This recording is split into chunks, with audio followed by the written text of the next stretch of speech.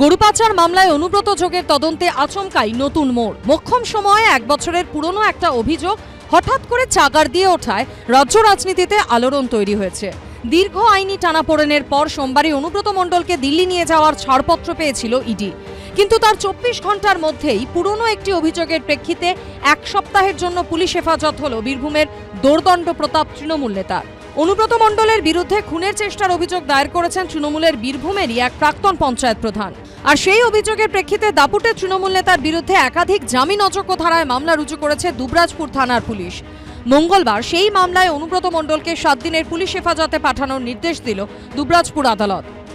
সাত দিনের জন্য অনুব্রত মণ্ডলকে পুলিশ কাস্টাডি দেওয়ার নির্দেশ দিলেন বিচারক এবং তারপরেই আমরা দেখলাম যে অনুব্রত মণ্ডলের আইনজীবীদের তরফে কোনো ধরনের কিন্তু জামিনের আবেদন করা হয়নি। অর্থাৎ আজকে অনুব্রত মণ্ডল তাকে যখন কোর্টে পেশ করা হয়, তার বিরুদ্ধে এফআইআর, তার বিরুদ্ধে খুনের চেষ্টার অভিযোগ আনা হয়েছে নন বেলেবল সেকশনে অভিযোগ আনা হয়েছে এবং সেখানে আমরা কি দেখলাম? অনুব্রত মণ্ডলের কোনো আইনজীবী কোর্টে ছিলেন না।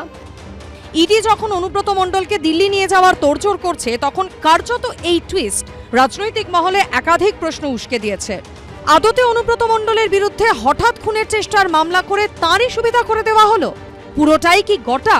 অনুব্রতর দিল্লি যাওয়া আটকাতেই কি এই কৌশল? নইলে এক বছর আগের ঘটনা নিয়ে ঠিক সোমবারই কেন অভিযোগ দায়ের করলেন শিব ঠাকুর? বীরভূমের একজন তৃণমূল কর্মীর পক্ষে কি অনুব্রত মণ্ডলের বিরুদ্ধে অভিযোগ দায়েরের সাহস হঠাৎ করে চলে আসা সম্ভব? যেদিন দিল্লির আদালত অনুব্রত মণ্ডলকে বাংলা থেকে দিল্লিতে নিয়ে যাওয়ার ছাড়পত্র দিল, ঠিক সেদিনই কি করে ওই তৃণমূল কর্মীর হঠাৎ করে মনে পড়ে গেল যে এবার মামলা করা উচিত অনুব্রত মণ্ডলের বিরুদ্ধে? এটা কি আদৌ কাকতালীয়, নাকি পুরোটাই পরিকল্পিত? অনুব্রত মণ্ডলের দিল্লি যাওয়ার চেয়ে পুলিশি হেফাজতে থাকা বেশি স্বাচ্ছন্দ্যের বলেই কি এই কৌশল?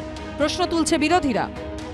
পুলিশের এই সক্রিয়তা, যে সক্রিয়তা একজন অভিযুক্তকে পুরনো মামলায় সাত দিনের পুলিশি হেফাজত দিয়ে তিহার জেল যাত্রা আটকানো হলো, এই প্রেসিডেন্ট যদি পরবর্তীকালে রাজ্য প্রশাসনের সামনে বুমেরাং হয়ে ফিরে আসে, আমি অন্তত অবাক হব না। এই ধরনের ঘটনা ভারতবর্ষের ইতিহাসে কখনো ঘটেনি। অনুব্রতকে বাঁচানোর জন্য মমতা ব্যানার্জি এবং তার পুলিশ প্রশাসন কত নিচে নামতে পারে? এক বছর আগে যদি গলা টেপার ব্যাপার ছিল এবং ছিল, তাহলে তখন পুলিশ কেন সক্রিয় ছিল না? আর এখন যেই মুহূর্তে কালকেটা ঠিক হলো যে দিল্লি যাবে পুলিশ এগিয়ে এলো স্বস্তি দেওয়ার জন্য। গরু পাচার মামলায় ধৃত অনুব্রতর প্রাক্তন দেহরক্ষী সাইগাল হোসেনকেও জেরার জন্য দিল্লি নিয়ে গিয়েছিল ইডি। তারপর থেকে তিহার জেলেই রয়েছেন সাইগাল। অনুব্রতর ক্ষেত্রে যাতে তা না হয় সেজন্যই কি পুরনো অভিযোগের নতুন মামলার গুগলি বাংলার কোনো ব্যক্তিকে বাংলার কোনো ঘটনার কোনো একটা প্রেক্ষিতে যদি দিল্লিতে গিয়ে আবেদন করে দিল্লির কোর্টের প্রোডাকশন ওয়ারেন্ট নিয়ে দিল্লি নিয়ে যাওয়ার কথা রাজনৈতিকভাবে হুঙ্কার হিসেবে ব্যবহৃত হয়, তাহলে বাংলার কোনো কোর্টে প্রোডাকশন ওয়ারেন্ট দিয়ে কোনো মামলায় গ্রেফতারের পূর্ণ একেবারে আইনি যে প্রক্রিয়া, সম্পূর্ণভাবে সেটা স্বাভাবিক। পৌষের হাত ধরে রাজ্যে শীতের আমেজ ফিরলেও অনুব্রত ইস্যুতে শাসক বিরোধী সংঘাতে এখন আরও তপ্ত বঙ্গ রাজনীতি। প্রকাশ সিনহা, ভাস্কর মুখোপাধ্যায় এবং ইরশাদ আলমের রিপোর্ট এবিপি আনন্দ।